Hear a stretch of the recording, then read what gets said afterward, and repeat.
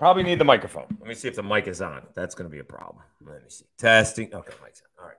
Three, two, one.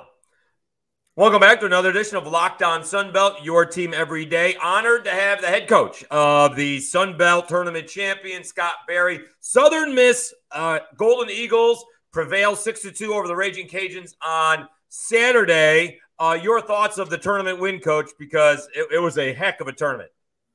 Yeah, it really was, David. Uh, real proud of our guys and how they were able to navigate through there. Of course, obviously, we lost to App State in the on the uh, first game on Saturday and had to come back and beat them in a do or die situation to get to championship Sunday. Same thing that Lafayette had to do against Coastal. Uh, both both teams had a long day on Saturday, and uh, you know, had to wake up, get ready to compete on on Sunday, and just thankful that our guys were able to to come out on top against a really good Lafayette team. So yeah, so most of the tournament, like I think the first couple of days, there were no upsets. There was not an upset in the tournament until App State beat Troy, and then I mean, you guys had to play again. That for what's it like playing a baseball game early in the morning? Because these guys are not generally used to that, and that's what happened to you guys on Saturday. Well, I'll tell you what, if you can win that nine o'clock game, it's the greatest game of them all because you have That's the right. rest of the day off. That's and right. through my years, we've we've had to play that nine o'clock game and and and have won it. And it's a it's a great feeling to know that you have a, a, a win under your belt early in the day and enjoy the rest of it. But App State had a different had a different uh, objective that day than than we did. They came out on fire after beating Troy the the night before. Uh, you know, in a really really uh, different kind of contest. They scored 10 runs with two outs there after being down seven to three. Right. They're actually down seven to nothing at one point, cut it to seven to three. And then the next inning, they hit them for 10 and ended up winning 13 to, to eight, I think it was. But, you know, they were on fire. They came out. They had that sense of urgency where they knew if they uh, if they didn't win the conference tournament, their season would be over. So they had something to say about that on that Saturday morning and uh, and certainly deserved to win the game. We uh, we didn't play well enough to beat beat them, lost four to two, but then we're able to rebound and come back and beat them that uh, that evening, and and and in, in, a run rule, which really saved a, a lot of our pitching, and we're and lined us up pretty good with uh, Lafayette the next day. Yeah, I, I, give you, I give Southern Miss and App State a lot of credit. You know, App State could have gone down quietly. They had a big win over Troy. They're playing the number one seed in in the tournament and or they're playing the Southern Miss and you know they they come out and they beat what is a really good Southern Miss team. I think one of the advantages that you and then Southern Miss, I mean, I guess I'm a hashtag always a bright side kind of guy, you get to see what it's like when you guys are pushed to the brink, right? That was the first time you were pushed and you get to see how you guys react because you know the Cajuns needed to play well to get into the tournament you guys were just looking to get a seeding and, and potential host. So it's a little bit different of a reaction the way you guys respond than maybe what somebody else had to. Well, and you're right. You know, I'll tell you, go, going back to the regular season, we were disappointed and uh, and just missing uh, being able to to be conference regular season champs and co-champs with Coastal Carolina. They finished one game ahead of us.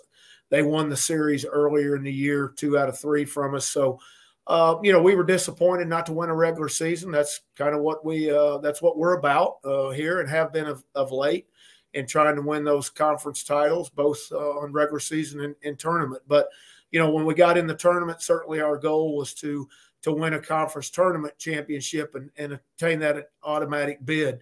You know, I never feel really good about it on on a uh, at large bid. I know there's just so many things that happen through the course of these conference tournaments. A lot of upsets, a lot of bubble busters that that happen, and unless you're just uh, one of those, you know, top in the RPI top 20 right. teams, you just I don't think you ever feel comfortable about it. And you go into conference play and you lose a couple of games, then look out, you're no longer in consideration. Other people have passed you by. So, you know, it was good to get those first two under our belt. Obviously, the App State loss kind of refocused what we had to do. Uh, you know, we we faced a situation where probably we would have continued to play on, but there was no guarantee, and that was the message to our guys. And to assure that we we did have a place, then we needed to win that second game on Saturday against App State and get in that championship game. And if we wanted to lock it down, obviously we'd have to win that championship day, and that's just what we did. All right, so I'm gonna I'm gonna I'm gonna stay with the tournament for now, and then we'll get back to the regular season and how all this is manifested. We're talking to Scott Berry, Southern Miss head baseball coach. Uh, I mean, talk about some of these pitching performances, right? The Raging Cajuns get him from Blake Marshall, which nobody saw coming. Uh, you know, throws like hundred pitches in two different ga- you know two different games in one day, and then you know when you guys needed it on Saturday with maybe the game in the balance. You know, I have no idea what happens but, you know, Justin Storm comes in, uh, gets a big play at the plate, great throw by your left fielder. And from there, you guys took it on. Talk about, you know, Justin Storm and, and his season and the, and the job he did on Saturday to really secure, you know, the Sun Belt Championship for Southern Miss. Well, I think if you look at Justin Storm, his his coming out party was last year in the regional on that second game on Sunday against LSU, uh, where we had to win or or where our season was done. And certainly he covered that, got the win, pitched five innings against them, had seven strikeouts, one walk.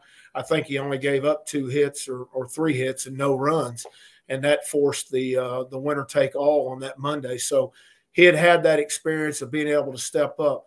You know, he uh, he really stepped up as our guy uh, on the back end of the games this year. Our closer, we didn't really have one going in and, and, didn't really have a plan with our long relief guys and pretty much knew who our starters were going to be. But first half of the season, we had to really navigate through that pitching staff and, and figure out the pieces and how we were going to use them. But one thing that was always constant was Justin was going to be in there, a part of it at, at whatever point or role that we asked him to be in. But he soon uh, took that closer role and and, and embraced it and, and really and really gave us uh, gave us what we needed in the back end.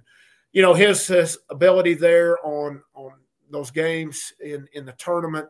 You know his relief pitching against Troy that evening, uh, where we ended up beating Troy eight to seven in game two you know, was was phenomenal. He ended up getting the win there, but it was Sunday's game against Lafayette. How we had it planned out that Niko Mazza, who had pitched two and a third innings before in in a game, I think against Troy, we started him on Sunday.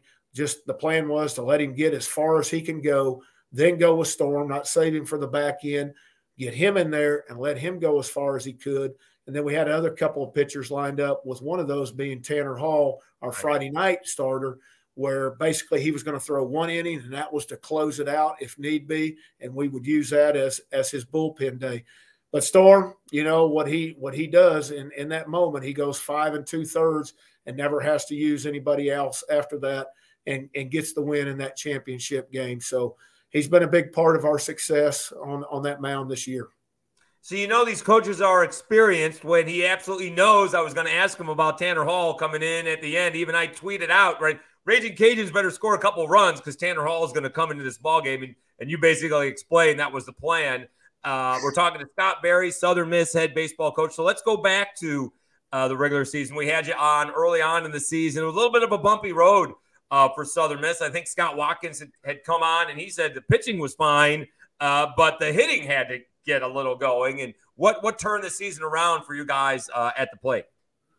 Well, you know, I think as everybody got deeper in in the season, and I think you look at that across the country, the majority of the teams weren't hitting real well at the beginning. But you know, I like to think as as the temperatures start warming up, the winds kind of start changing to the south, it starts to become more hitter friendly days. Certainly, everybody starts getting more at bats under their belt pitchers start getting fatigue as they started getting more innings and more more throws out of their arms. So you know, I think it all plays into a little bit more of a hitter's advantage overall uh, as you get deeper in the year. But you know, I think the real gut punch uh, and what woke us up was the Coastal Carolina series, David. I mean, the first two games, our pitching staff gave up 35 runs in two games.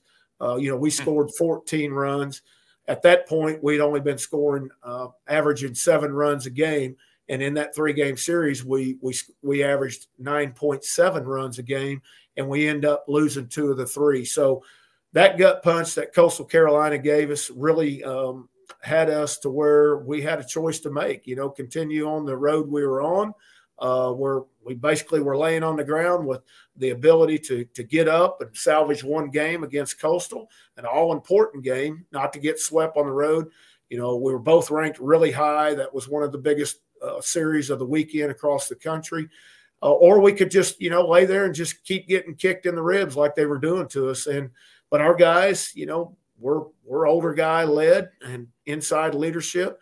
You know, uh, with a little direction from from us, I think uh, we we were able to get up off the mat and deliver the blows that needed to be delivered against Coastal Carolina to salvage that that win and what sent us on, I think, a 15 game or 14 game winning streak, which now is 19 of our last 21 we've won. Talking to Scott Berry, head coach of Southern Miss uh, baseball, locked on Sun Belt. Let's talk a little bit about, about Coastal Carolina. When they were coming in to play the Cajuns, uh, they were like 30 points ahead. And this is just Sun Belt games. I don't think it matters much, but just mm-hmm. Sun Belt games. They were 30 points ahead of the next team in batting average. They were leading the, the league in home runs by about 20, and they were second to the Cajuns in stolen bases. I claim that they were like the Golden State Warriors of baseball. Mark Calvary of South Alabama, they're like the Harlem Globetrotters. How difficult is it, you know, when they are so deep and so powerful and so explosive? Uh, as as how, how do you play against something uh, like that? And that and then what the Cajuns did to them, they scored four runs in two games against them. It's it's insane. I, right. Well, you know, I think Coastal Carolina is a different animal at home. You know, that park right. is it plays really small. You know, there's no dimension. That's the first time I've been to that venue, and there's no dimensions on the outfield wall, so you have no idea what the distance are other than when you hit BP or even balls in the game, when they leave there and they look like routine fly balls at, at our park and, and most parks, you know, they're going out there. So, you know, they they play really good. They know how to their swings are kind of honestly, they're they're made for that part, but they're very athletic. They have a lot of power. You know, I like the way that that they go about their business. They're extremely tough team. They're led by that little second baseman uh, who is just a fine little player. You know, their catcher catcher Bodine is was a freshman player of the year, another exciting player. So Coach Gilmore obviously has done a fantastic job at Coastal Carolina and continues continues to do so. You know, won the World Series back in 14 or 15. I'm not sure which year, but you know, something that's hard to do for this level, mid-major level programs. But uh, yeah, they're very good, and they line up good with with Lafayette. Lafayette is a, an exciting athletic club. Speed is their game uh, as as well. So both very difficult opponents to try to navigate through and, and try to win. Yeah, you got the Eels at the top of the lineup, and then at the bottom of the lineup, you got Blake Barthol who can crush it as well. So it's a, it's an odd nine-one punch in the Coastal Carolina uh, lineup. We're talking to Scott Berry, Southern Miss head baseball coach. It's locked on Sunbelt, your team every day. All right, Southern Miss just misses out on hosting. We'll just get your thoughts on that. You're heading to the Auburn Regional. Well, you know, I know it's all RPI driven. I get that. I mean, it has been for years. And is that the right system? I don't know. You know, um, it, it, just it's hard for me um, to to understand how baseball at the Division One level, how it's gotten to be so good across the country, and and one conference is able to get half of the field of host. Um, you know that's that's hard to swallow because I know there's a lot of good baseball around the country. But you know what what was handed out to us and and this this tournament is what it is, and we move forward. And you know certainly we we are uh, embracing the opportunity and the challenge of going to that Auburn regional with uh, with Samford and Penn and Auburn as the the other three opponents in it. So you know, uh, we just we got to focus on that, just like the other teams who have to go to the venues that are hosting as well. What was the experience like last year? Because very rarely is that the case where the group of five team is hosting the Power Five team. And not only were you hosting a Power Five team, you're hosting the LSU Tigers. You beat them, and Southern Miss hosts the Super Regional. What was that experience like for you, the team, and the fans? Oh, it was unbelievable. I mean, it was it was outstanding, uh, and it and it propelled us into this year. The momentum that we left there last year in the 2022 season here at Pete Taylor Park took off back in February in the first game.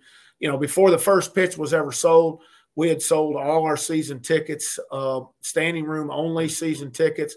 We were, had we were right at a million dollars in season ticket revenue before the first pitch was even thrown. So people embraced it, they invested in it, and uh, you know they they were ready for baseball season to get back here. So you know, the ability for us and and programs like us at our level to to to get that host and and have your fan base embrace it, you know, I think it's a difference maker in years to come. You know, can you talk about that a little bit? Because I think from my experience, you know, obviously the Cajuns have to put up with LSU. South Alabama has to put up with Alabama and Auburn. Uh, Troy has the same situation. It kind of feels like Southern Miss has their own little fan base uh, that is, you know, is not paying attention to Ole Miss or Mississippi State. I find that very uh, refreshing uh, and different because usually, you know, everyone's going to be a fan of one of the Power Five schools and then Southern Miss. Southern Miss seems to have their own little fan base, and I think that's nice. Well, and I can only speak on our behalf, David, right. and, and that's what I want to do. You know, I feel like there's a rich, rich tradition here at, at Southern Miss of what we've been able to do in, in winning conference championships, whether it's reg, regular season titles or conference tournament titles. You know, obviously, we just moved into the Sun Belt this year. We were we were able to to win the Sun Belt conference tournament yesterday. But prior to that, we've been in Conference USA ever since I came to the league as an assistant coach back in 2000. And really, the, uh, the where, where we started getting consistent was in 2003 when we won the regular season title and the uh, the conference tournament title, and that was against Tulane when they were rocking and rolling when Coach mm. Jones had it going back then. So, uh, you know, I, I, I, like to think that our fan base is one of the strongest fan bases in the country.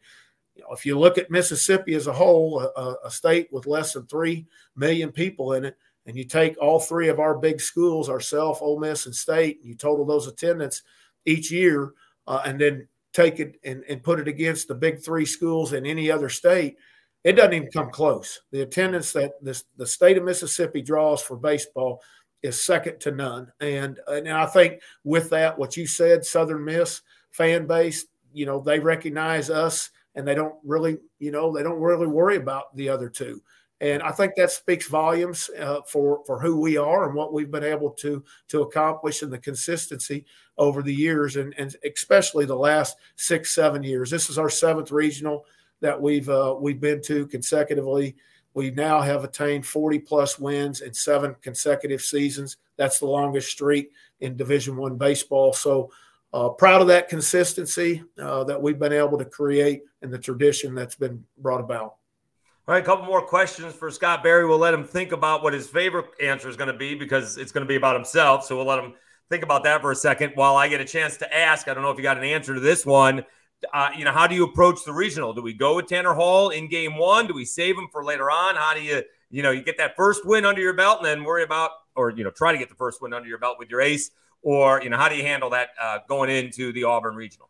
Well, I don't know. You know, we uh, certainly it was just about three hours ago we learned who who our opponent was going to be and who all the uh, the teams were in our regional. So we're in the uh, in the process of, of breaking that down None of these teams that, that are in the regional with us have we played, nor have have they played us. So uh, just trying to get a feel for it, uh, what you know, what the opponent is about, uh, and you know, we'll make that determination a little bit later. So, got some decisions to make. In all honesty, traditionally, I've always gone with my number one out the gate uh, with that, but um, you know, we'll just have to evaluate the the opponent, Samford, which is a good opponent, and certainly not going to take them lightly for no reason, uh, and and and shouldn't. Very good club, earned the automatic in the SoCon conference to get in this regional as well. So we'll just have to kind of break it down and see see where it comes to.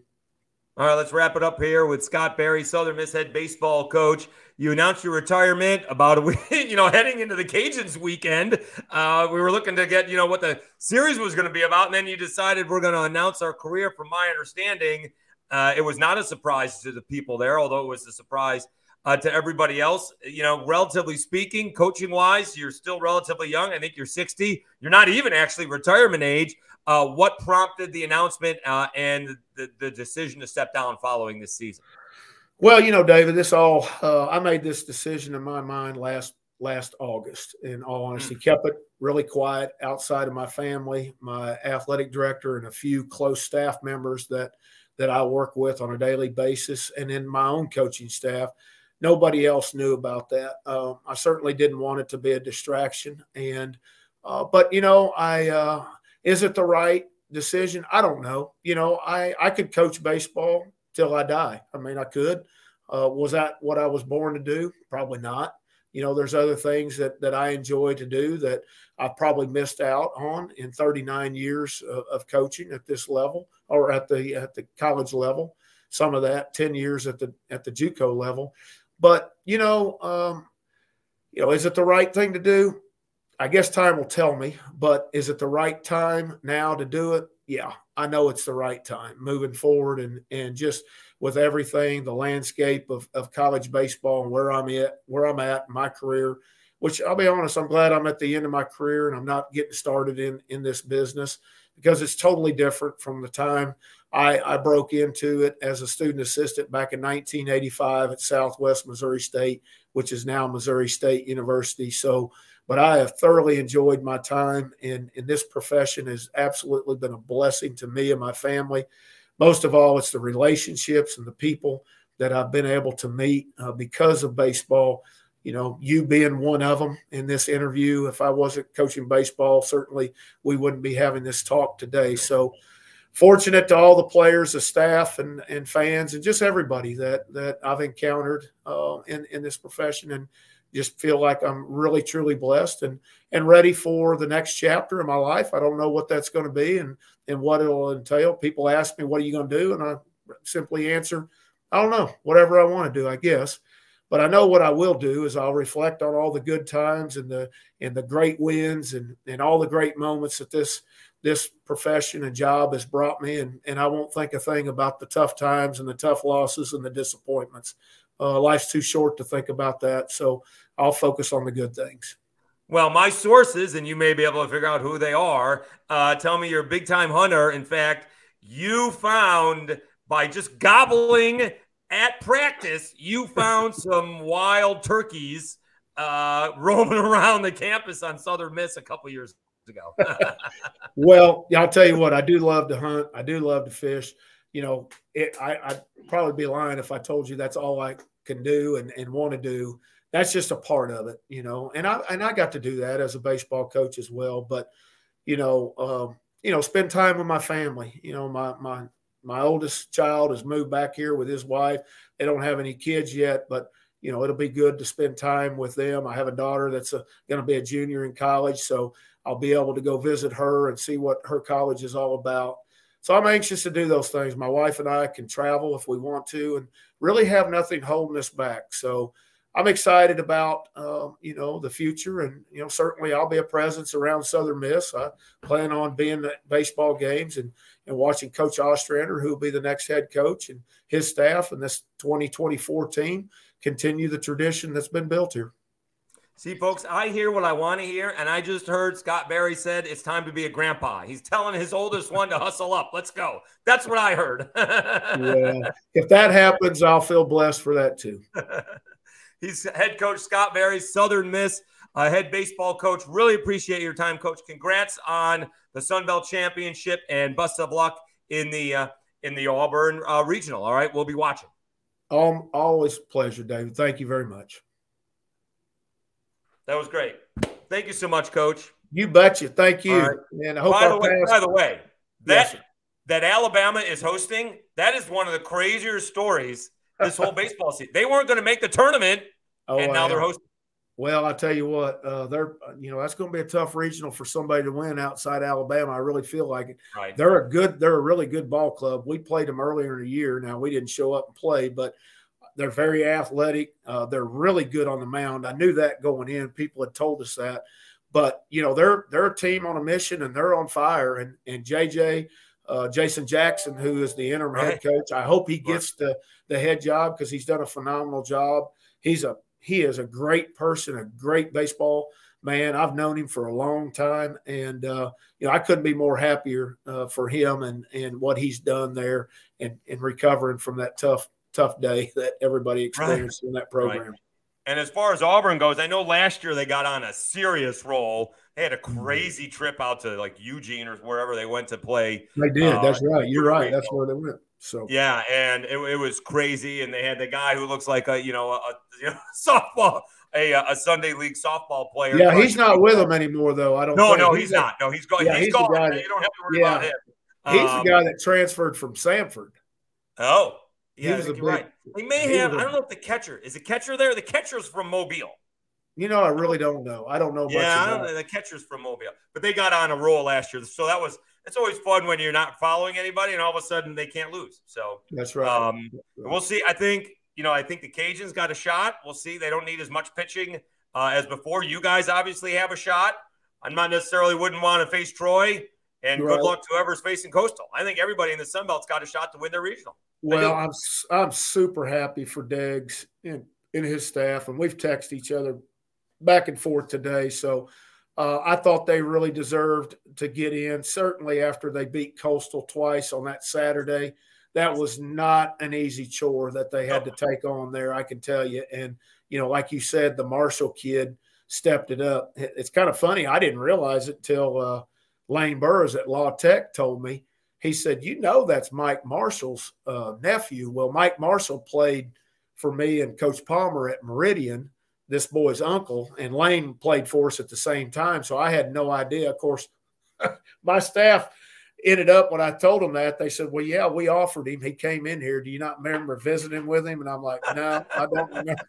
so we have so many of them. We have so many of them that come through here uh, sure. that you offer, and you know, some of them say yay and some of them say nay. And but, uh, un- but unlike but, Justin, you know, Justin had a good season and had a good ERA. I think Blake's ERA heading into like the last five outings was like five, and now he hasn't given up anything in the last five outings. Is down to like three and a half. Well, you know, somebody told me like the most pitches he's thrown this year was like 30 something in an outing. you know, and he goes 150 pitches in one day, five, what was it? Four, four to third in one game and five in another. Exactly. Right?